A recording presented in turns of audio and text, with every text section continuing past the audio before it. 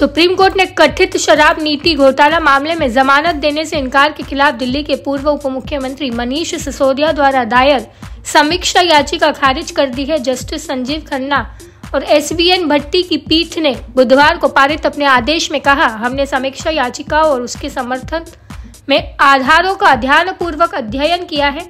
हमारी राय में 30 अक्टूबर 2023 के फैसले की समीक्षा का कोई मामला नहीं बनता इसलिए समीक्षा याचिकाएँ खारिज की जाती है। सुप्रीम कोर्ट ने कथित शराब नीति घोटाला मामले में जमानत देने से इनकार के खिलाफ दिल्ली के पूर्व उप मुख्यमंत्री मनीष सिसोदिया द्वारा दायर समीक्षा याचिका खारिज कर दी है। जस्टिस संजीव खन्ना और एस भट्टी की पीठ ने बुधवार को पारित अपने आदेश में कहा, हमने समीक्षा याचिका और उसके समर्थन में आधारों का ध्यान पूर्वक अध्ययन किया है।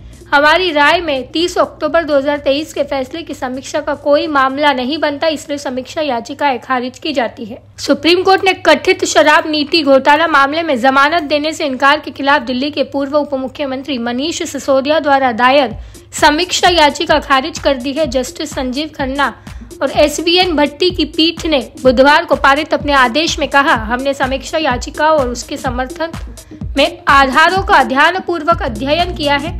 हमारी राय में 30 अक्टूबर 2023 के फैसले की समीक्षा का कोई मामला नहीं बनता। इसलिए समीक्षा याचिकाएँ खारिज की जाती है।